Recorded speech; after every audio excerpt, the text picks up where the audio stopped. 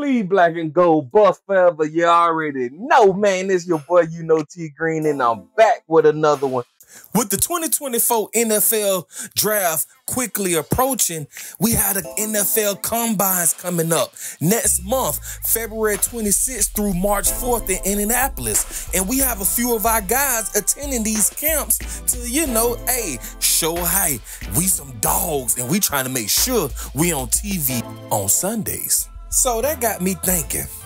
Now, Xavier Weaver hasn't made a post that he's going to be attending any of these combines, but we already know this dog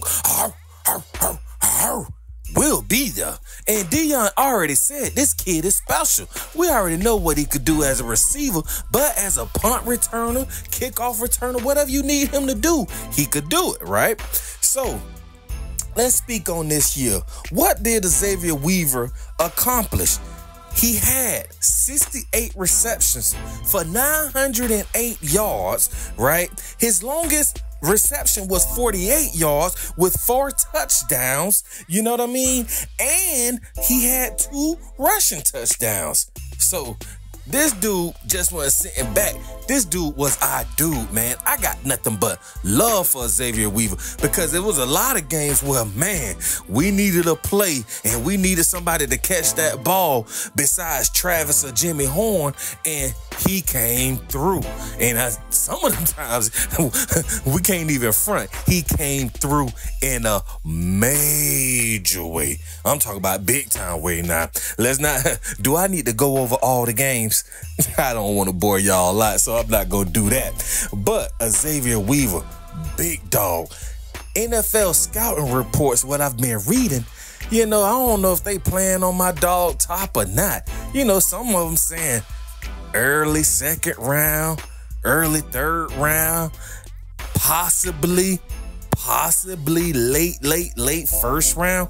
What y'all think? I want y'all to get down in that comment section right now. Let me know. Y'all really think Big Dog is finna go late in the second round or early third round? I think this just me thinking. I think he could be a first round draft pick because at the end of the day, he did what he had to do. And this dude has been a dog since he came out. Not, not, don't get it twisted. He was a dog. You know what I mean? So when he made that transition, him and uh Jimmy Horn, hey, them boys went the balling out out here at CU, man. I mean, come on. So to say that, hey, third round pick, nah, I just can't buy that. Now I could buy early second round pick, but uh, you know what I mean? Me personally, you know, I'm always root for home team first. We already know this dude future gonna be bright in the NFL, man. So let's speak about some of his route running, right?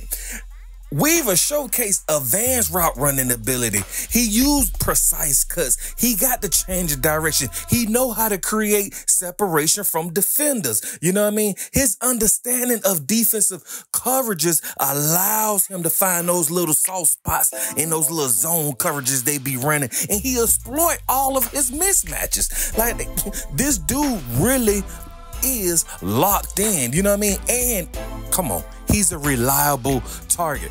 Now, every now and then he may drop one, but Xavier Weaver is not dropping balls, y'all. He is proficient. You know what I mean? Hands on ball skills is there.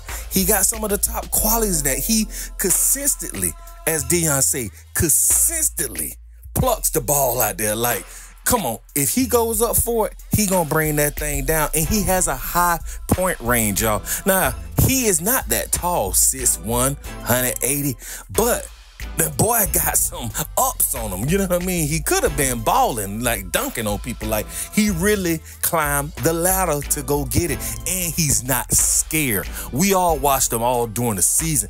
He will sacrifice his body to make sure he catch that catch. And third down opportunities in the red zone, you could count on him. You know what I mean? you could really count on him. Now, his speed. Yes, they got him documented that he ran a 4-4, but it's not your normal 4-4. Yeah, I would like for him to be up there with those little 4-3 guys, 4-2 guys. But listen, a 4-4, a shifty 4-4, it's a big difference. And a lot of y'all know what I mean by that. He's just not running he's running with those those moves and jukes where it just look fluid. You know what I mean? It looks good. And he has those instant bursts. You know, those instant, as soon as he catch it, uh, he's one step pivot, I'm gone. You know what I mean? And that's and that's what you're gonna need uh, in the NFL level, you know, especially the yards after the catch, his ability to break tackles. That's important. The ability to get that defender off you once you have caught the ball. I mean, once you have caught the ball, you know, so that's big. And most important, this the most important thing. He's a strong wide receiver. His blocking ability, you know, now we didn't run the ball how we wanted to this year. But you can't tell me when we did run the ball to Xavier's side, he wasn't blocking. A lot of times these wide receivers get real lazy. You know what I mean? They don't really be wanting to block. You know what I mean? But hey, we ran to his side. You could count on the Xavier. So like I say, man, I think this dude gonna go either late first round, early second round at best. You know what I mean? Because he has it. Like it's it's, it's, it's not it's no denying that. So I'm excited to see what he do in the combine.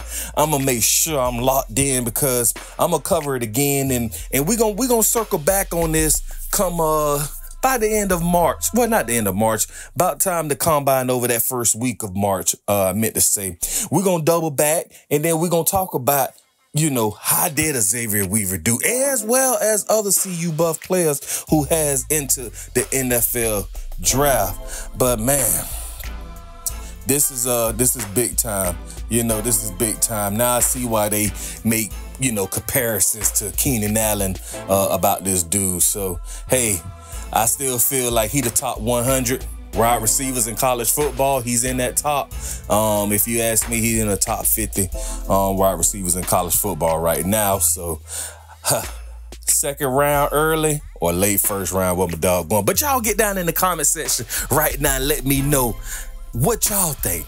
You know what I mean? Don't be afraid. Y'all get down there, man. Y'all already know we be vibing. And hey, you could tweet me, do whatever you need to do. But get down in that comment section right now let me know what y'all think. Cause I'm I'm curious to see is this 2024 draft class scouting report is is true. Cause man, CU Buffaloes, we got none but dogs. You already know the motto. You already know the motto, man. Another day above ground is what? Truly a blessing. Like, share, subscribe, tune in with your boy, you know T Green, and I'm gonna be right back with another one.